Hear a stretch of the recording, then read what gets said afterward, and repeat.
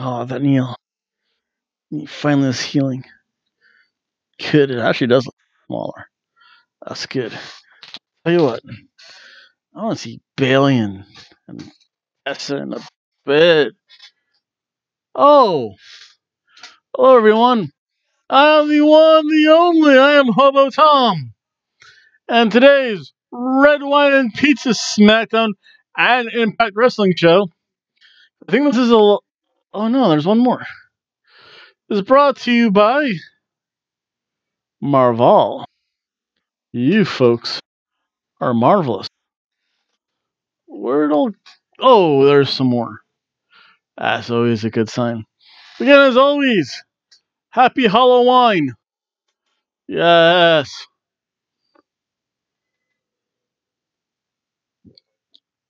Again, it's a Red Wine and Pizza Friday. Therefore, it's time to talk about two fairly entertaining shows. One so much, so much more better than the other, though. And that is Friday Night SmackDown and the Red Wine and Impact, Red Wine and Pizza Impact Show. So let's start off with SmackDown. Um, there's not really a lot to cover. I'm not going to go through all the draft stuff. God, that's boring. There are reasons why hobos drink red wine on Fridays and for drafts. Ooh, actually, I'll do that the second part of the show because that was all during Impact. So serious. So SmackDown, SmackDown was actually fairly okay. Parts of it were really entertaining. Parts of it not so entertaining. Um, they do have a nice open. They have ACDC, and with the recent storyline of Lana and Rusev and Bobby Lashley, do you really think you should play ACDCs? We're gonna have a good time, especially showing a picture of Lana. Whoa! You know who's having a good time, folks?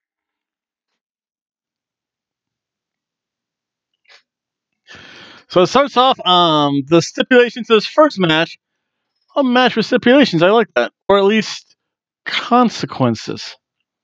It was Roman Reigns with his pyro, which looks good, takes on Seth Rollins. Seth Rollins obviously representing SmackDown. Rollins representing Raw. Winner means their brand gets first choice in the draft. It was actually a pretty good mo- pretty good match. Um, there is, of course, some history between the two, both of them being in the Shield. Um, whenever Seth wrestles someone in the Shield, and this happened when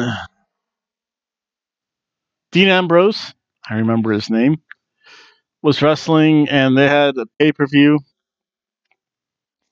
And I'll forget what pay per view it was, but it was terrible because for some reason Seth Rollins starts off in a rest hold mania. Seth, you've seen this out of you before. It's not good. So he uses the match of the headlock, and it's pretty good. And until it starts with a brawl, I'm like, kill him, Roman. Kill, kill, kill. Because Roman starts to beat up Seth. It's like Roman's had enough of it, which is pretty good. Uh, Roman Reigns sells the power. He does that power bomb, which is really good. Roman Reigns in this match is really the powerhouse. He does mo- mo- more of the brawling, which is weird because for the most part, he's the face. Indeed, a role reversal. Um, then they were missing finishers left and right. They again they know each other's style. They know what their finisher is, so that kind of makes sense. Um, Seth, I think, he just has rest holds. Then they get to their finishers. They kind of notice all their finishers. Somewhat makes sense. Remember, these are really the two strongest competitors until ah ah ah the Fiend shows up from the ring, Hell in a Cell Kane style, which is fun and different, and I like it. And he puts Seth Rollins and drags him down beneath the mat for a while, and then the lights go in and out again, and Seth Rollins teleports above the mat. He looks freaked out. I'll tell you what, even though it's a the the fittest, because Seth Rollins wins because he got because Roman Reigns got DQ'd because the Fiend showed up and laid his hands upon Seth Rollins' foot. The DQ finish. But honestly, this was a good dusted cheeseburger match.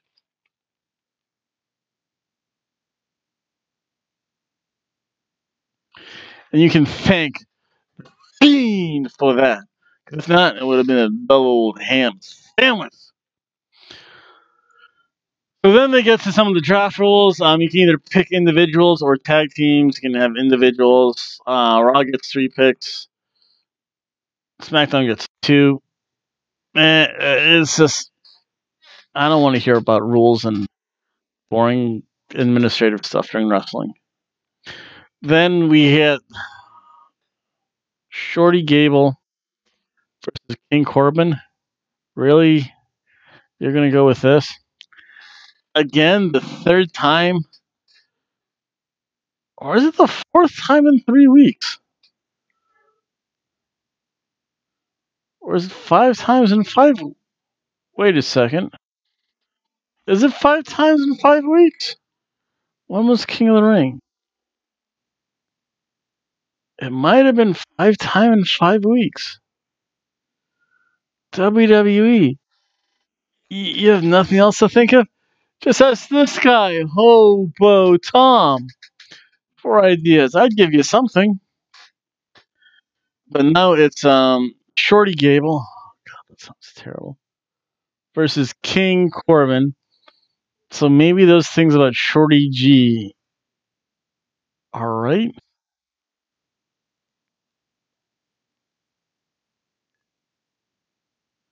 Yes, if you read my lips, it was something very bad. I said, which I'll get to later in the show.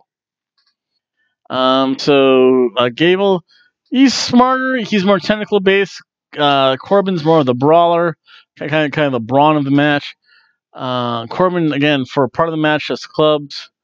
Poor little Gables. Uh, I think Corbin threw Gable over the table. I don't know if the table. Sometimes these tables no sell. These tables go into business for themselves. Uh, Corbin jumps on the table, jumped onto King Corbin. The splash on him. Corbin, Corbin's good. He has the same move set, although he did have that new like twisty slam thing. That looked good, where he picked him up, like twisted him in the air. I don't know if it was meant to be that. Whatever it was, it looked better. It looked new. I like it. Uh, and then again, Chet, uh, Chet, Shorty Gable does the Rolling Germans kind of the third one. These two exhausted. Baron Corbin wins. It's a ham sandwich.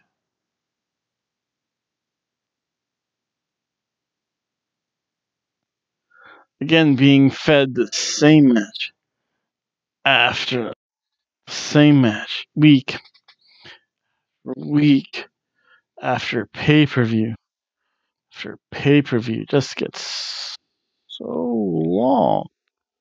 Why did I get claw hand? That's weird. Maybe it's my lack of sleep last night or today. That weird. Like claw hand, like the thumb like goes like. So, so that was just a ham sandwich of a match.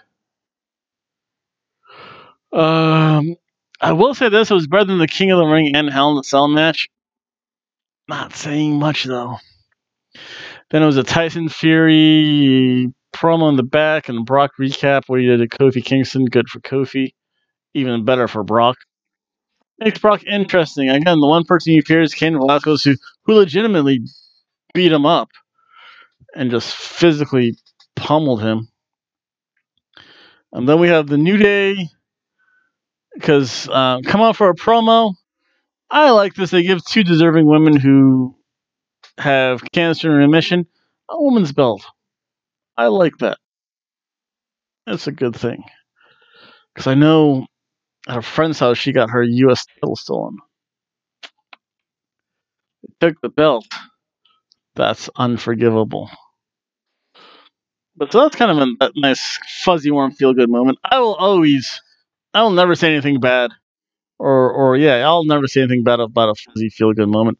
In fact, you know what? That fuzzy, feel good moment, I drink to those ladies. Salud!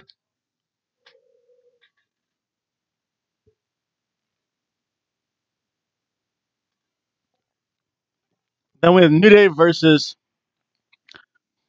Club.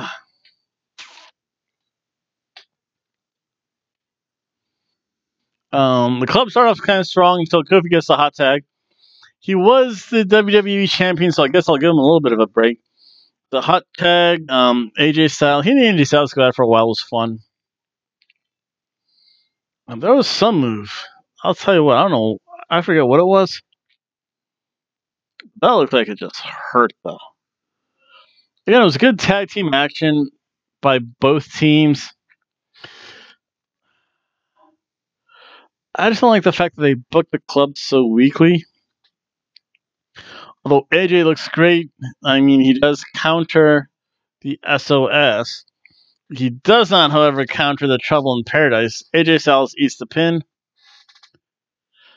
It's a ham sandwich.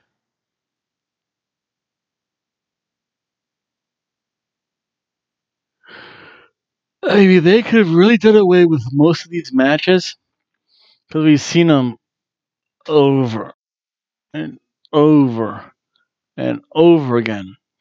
They could have put something fresh in it; it would have been a lot better.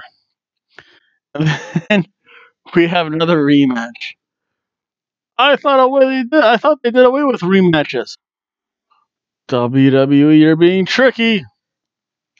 It was Charlotte Flair, woo, versus Evil Bayley. Oh, Evil Bayley shows up, beats up her Bayley buddies with. She knows how to use a kendo stick now. Bravo, Bayley. You've learned the use of a kendo stick. Indeed. I shall give you golf claps. Golf claps. I don't even know if you can hear that on the mic. But Bayley's getting golf claps. Ugh. Bayley uses kendo sticks. Bayley curses. So this was a rematch. Um, Evil Bayley got a haircut too. Oh, you know what that means? It's already predetermined. There's gonna be a title change. Oh, wow! Is this predictable? Gee, WWE, make make it at least harder for me to guess this stuff. But it was a it was a good match. Um, Evil Bayley with a haircut. Um, why? I mean, Bayley. She starts to do more heel tactics. Why does? I guess if you drink, I guess if you whine enough and cry enough, you get matches. Uh, yeah. So so again, Bayley's kind of more heel. Flair, Flair, Charlotte Flair flies. She doesn't do the moonsault. I don't think she did the moonsault. I don't know if I stepped away for that. If that was during a break. She did a suicide dive onto Baylor. Different. Not that. Um, Flair again. She was bleeding from the lip or something because there was like a little trickle of blood over here. And her daddy, Ric Flair, the man who I Dusty Rhodes had many matches against, many bloody matches against.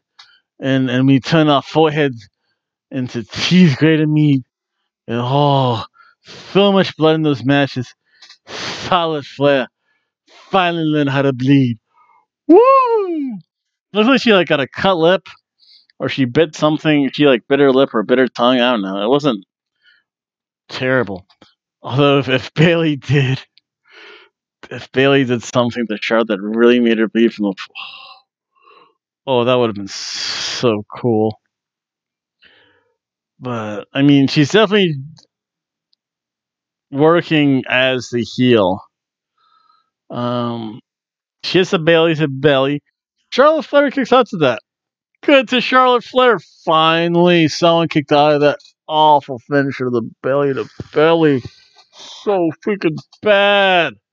I don't know why that's the finisher. Um, Bayley did hit the macho elbow. I refuse to call it her flying elbow. It is the macho elbow, folks. And then to hold Charlotte Flair down, she, I guess, held her hair down. Heel Bayley wins in a 50 50 booking match. They really needed to do this. I don't know. I guess it's okay now. I don't know. Heel Bayley is still better than Goody Goody Bayley, I guess. So I'll say eh, it's a cheeseburger match.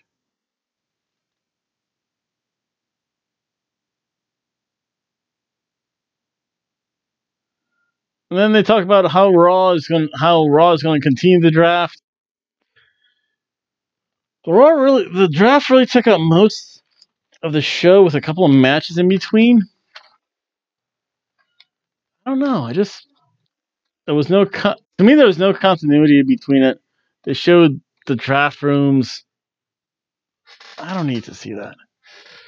Overall, the SmackDown not the best SmackDown. This is a ham sandwich.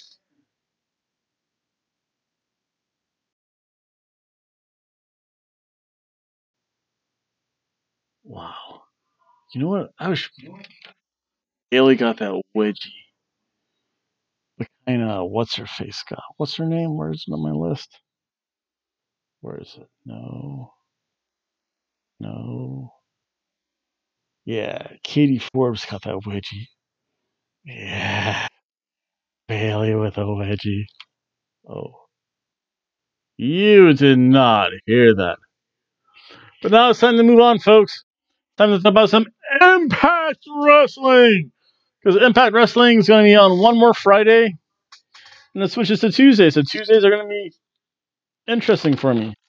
So again, to start off this show, because it was way more entertaining than SmackDown.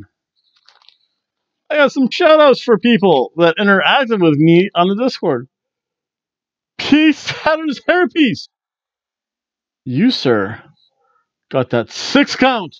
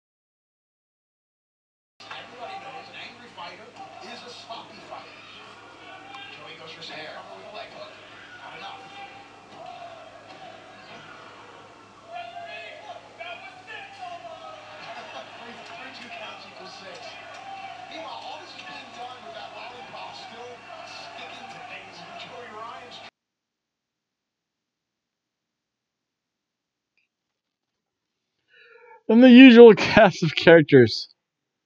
see here. Marky Mark! You sir a master of the air guitar.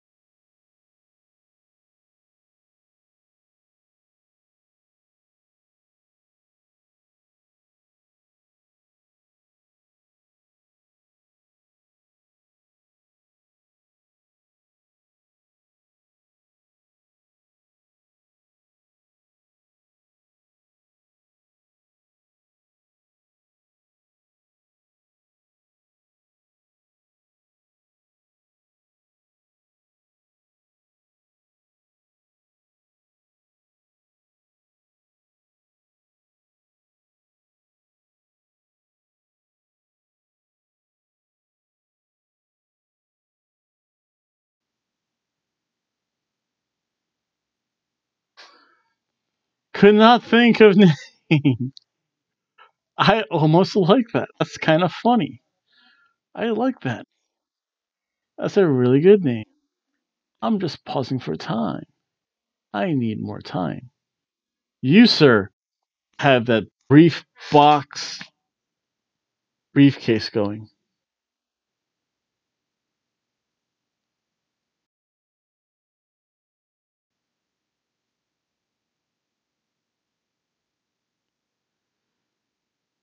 Jericho's bubbly.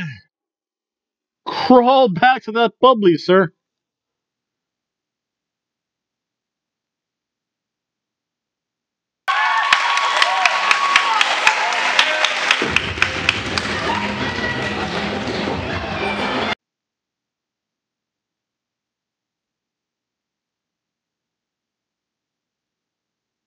Wise Waldo.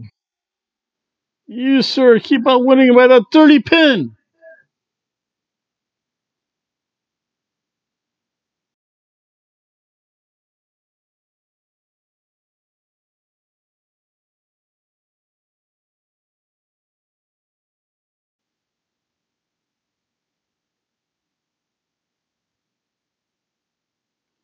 And then Blaze. First of all, sir, I'm not worthy. I'm not worthy. Although you did get the answer wrong. The answer was all of them an orgy. So therefore, you, sir, are a member of the El Generico Band.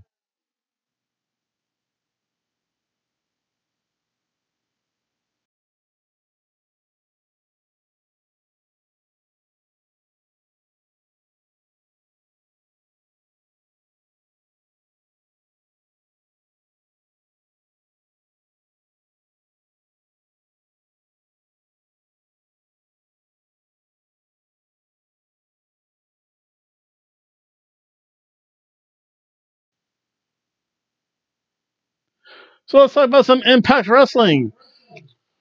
Not necessarily the best show, but much more entertaining than SmackDown. SmackDown, I don't know. This week, again, watching like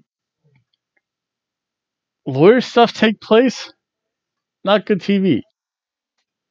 Again, to start off Impact Wrestling, we have Ace Austin wearing an Austin 316 shirt. Because you know what Ace Austin 316 says? I just saved your life. Because he takes on Eddie Edwards. And I guess this is for a spot in the Fatal Five Way or the latter version of the X Division Championship. Um, I'm surprised that this match by itself wasn't on a pay per view. This could have been on a pay per view. This this could have been one of those like hardcore grudge matches. Although it would be cool if they saved it until after November for December. I can do a live stream of it because my corner setting will be done in the at the end of November. But it starts off with Ace Austin playing tonsil hockey with two Las Vegas. Um, no, not that phrase. Women. Hookers. Uh, then Eddie Edwards just beats up, tries to beat up Ace Austin. Ace, Ace Austin actually does a pretty good job, job of beating up Eddie Edwards for a change. Um, then Eddie Edwards does go after the the injured arm of Ace Austin. For most part, Ace Austin controls most of the match. Um, Eddie Edwards tries tries to use Kenny the kendo stick. Um, that's because Reno Scum shows up. Eddie Edwards, I don't know. He needs to leave.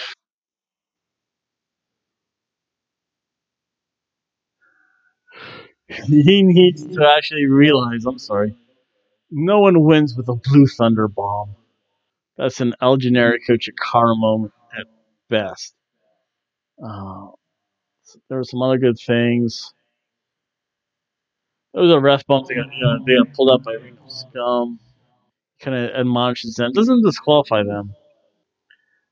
Uh, then, of course, is when Eddie Edwards has him pinned after the Boston knee party. And then, of course, there's always the loaded brace with a piece of iron. Ace Austin nails him with that. Uh, it was a good match. Actually, it was fairly entertaining. Impact just puts on really good, entertaining matches for some reason, though. This is a good cheeseburger of a match.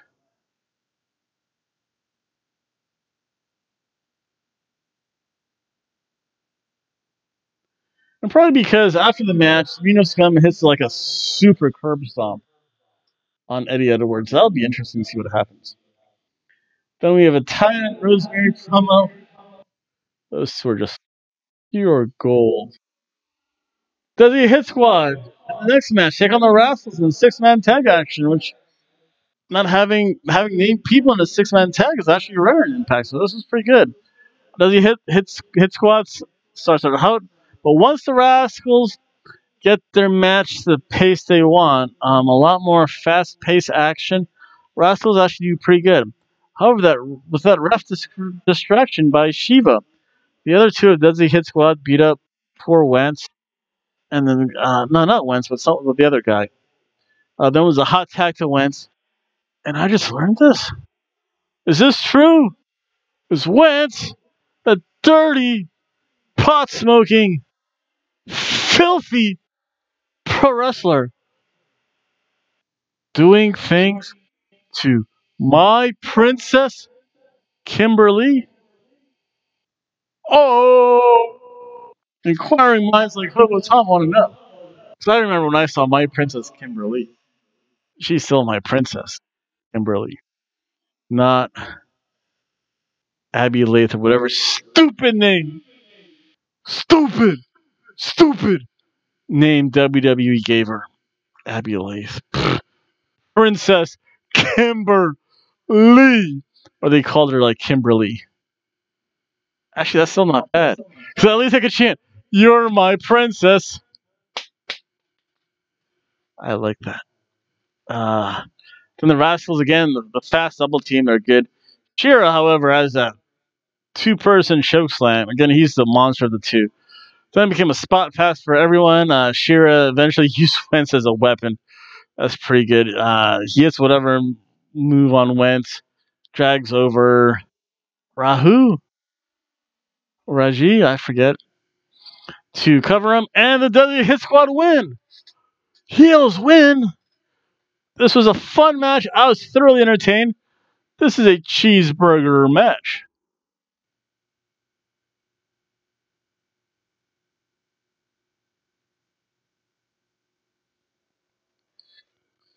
Then next up, I another a couple promos every so often about uh, Bound for Glory coming up. Oh, it was Jordynne Grace versus Van Dam's wife.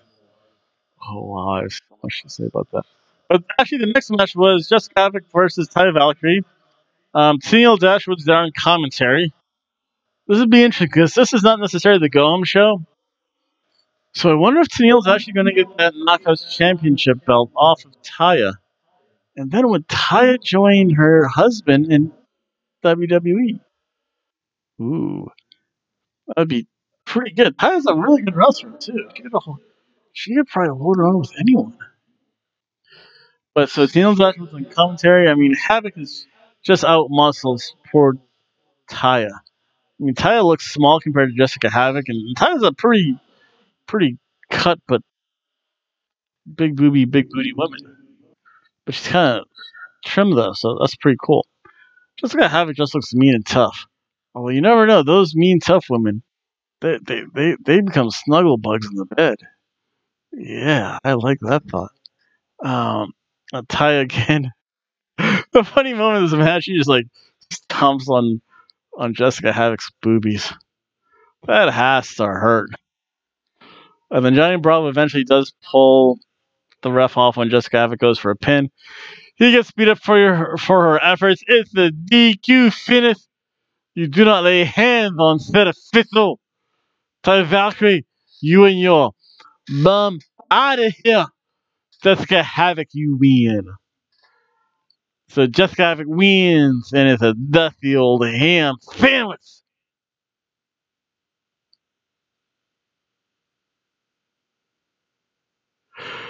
And then feel the gets involved, decided to beat up Jessica Havoc a little bit. So Neil Dashwood has to then beat up Taya, Taya Valkyrie. So we'll see what happens. It's not the home show, and I don't know if WWE math actually applies to Impact Wrestling. We'll see. Then the North come out, cut a promo. They're always good. Then it's Moose, Moose, Moose, Moose takes on Stephan Bonnar.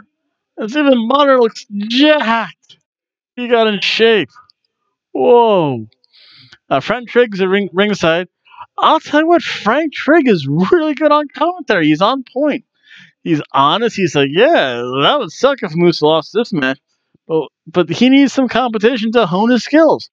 It makes sense. He said it would suck if he lost, but he needs this match to get ready for Ken Shamrock. Commentator who makes sense? Who's not Don Callis? Indeed. Or Matt Striker. Or a Vampiro. Indeed, indeed, indeed. A Bonnar, he's he's actually really good in the ring. Right now, he's probably loving it. He's like, "Oh, this is fun. I miss this stuff." I think I busted open the hard way. I didn't see him blade do the blade job or anything. As far as I know, he could have hit himself against something sharp, though. I mean, he's probably cuckoo like that. Moose is good. Um, Bonnar goes in the finisher, which is good. Uh, uh, move how uh, Moose kicks out, and he used the ref. He threw the ref into Stephan Bonnar when he was climbing the, the ropes. Eh, eh, eh. It's a DQ finish, but it was good. It told a story. He beat up Stephan Bonnar, and, and Stephan Bonnar said, "Hey, you there, Frank Trigg, stay out." And Ken Shamrock came in and beat up Moose a little bit. That was good. So therefore, this match is a cheeseburger of a match.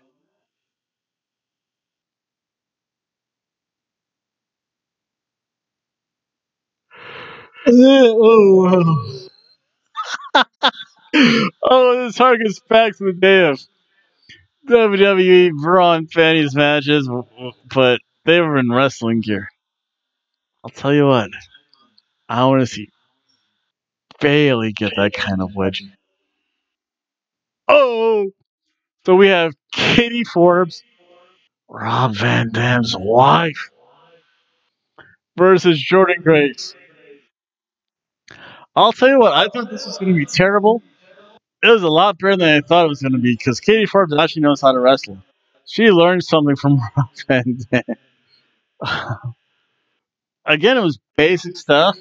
The fact that she could do a headlock takedown She knew how to get out leg scissors. She knew how to sell punches. She knew how to sell elbows. She could give forearms. It wasn't anything super complex. She's not doing a Lucha Destroyer anytime soon. Soon, she's not doing a five star frog splash. But oh my gosh, so she does the five star frog twerk, and that and she shoots dollar bills to everyone from money machines. That was all her entrance. Oh, she can shake what what the creator what God gave her. I'm not even gonna sugarcoat that. And then Jordynne Grace give her the ultimate wedgie. Listen, folks.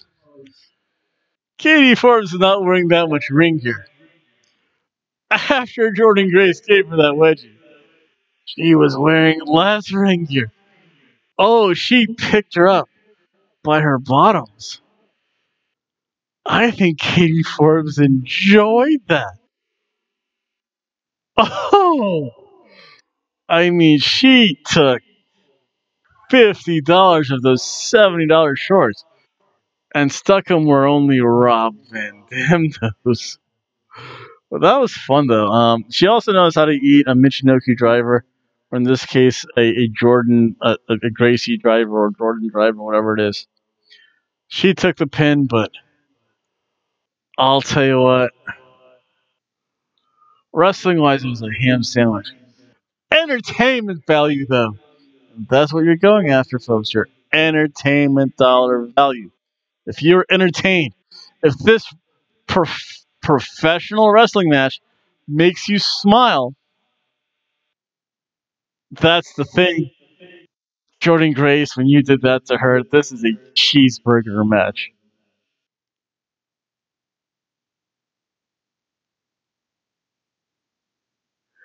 And if I was a depraved hobo, it probably would have been less, but boy, was I entertained though. Oh, all that booty in the ring. So, I digress. Um, I'll tell you what. I want to see Bayley in bikini bottoms take that wedge, take take that wedgie. Oh, that would be so cool. Uh, then Johnny swears in the back. Yes, has to say so. I could show you some some things there, Miss Forbes. Oh, and Jordynne Jordynne Grace just shoves him down. He's like, I like it rough. Oh, is that going to be the next intergender match? Johnny Swinger versus Jordynne Grace? or to start off, Katie Forbes? Yes. Uh, then there's another thing with Alaba and TJP, also known as Fala Peas Donuts. And they're training for their match. That's pretty fun.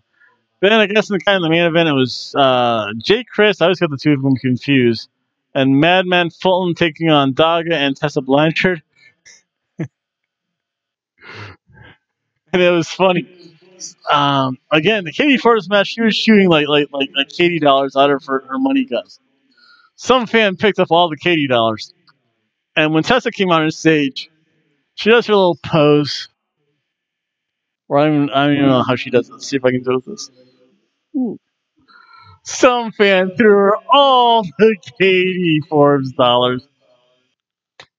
Stay classy. Oh, wait a second. We're in Las Vegas. Can't tell them to stay classy. What am I thinking of? But, oh, um, so Jake Crist is in the ring. He's Daga starts off. He's like, I want her. So Tessa Blanchard, Blanchard acquiesces. Tag, uh, Daga tags Daga tags Tessa in. Jake Crist tags in Madman Fulton in the blind tag. And you can see Tessa's mouth saying, Or, as I shall say you are such a P U S S Y. Yes, just imagine that. That was funny to watch him up. Yeah! Uh, Daga actually does pretty good because, again, Tessa, Madman Fulton. Madman Fulton just beats her up. He's just a monster, so that's kind of ex- it's, it's, it's expected. So I'm not I'm not offended by a man beating up a woman by a professional female wrestler getting beat up by a professional male wrestler because wait, this is professional wrestling. This is supposed to what's going on in the ring. It's not like he like slapped her a thousand times. And It's not like she didn't slap him either. But she held her own for a little bit. Um, Doug eventually gets tagged again. He gets caught by Fulton. Again, they're outside the ring. Doug tries to jump on Fulton, gets caught, goes right into the ring post. Uh, Tessa eventually does clean house. oh! Ohio versus everyone come in. Because Tessa does hit the Magnum onto Jake Crist, gets the pin. I forget it was pin or DQ because Dave Crist got involved. Or the other two. I got the two of them confused.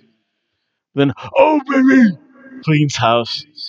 Um, Brian Cage eventually comes back because OVE beats up everyone. He's upset. He he he just beats up the two Crist brothers.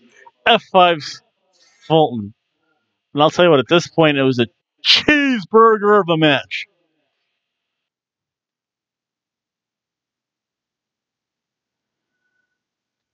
But then, of course, Cage is looking for where Sami is. Where's Sami Callihan? Sami Callihan's behind you with a steel chair, buddy. Whacks him in, in the back. Two low blows. They handcuff Brian Cage to the ring ropes. Sami Callihan brings up the, Callihan slugger. And Melissa Santos, who's like a little band over her head. Trust me, if she got hit with a ball, she'd have more than a band aid over her head. But she she gets in front of Brian Cage. Sami Callihan's having none of it. Thumbs up. Thumbs down. Pile drives. Melissa Santos. E C W style. In front of her husband, the machine, Brian Cage. Oh, I half expected Brian Cage to break those handcuffs. He did not. But whoa. You want to talk about poking the hornet's nest there, Sami Callihan. You know what, Melissa Santos? Thumbs up.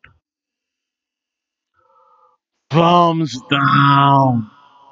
And I'll tell you what, this show, this was so good. Oh, this was a cheeseburger impact.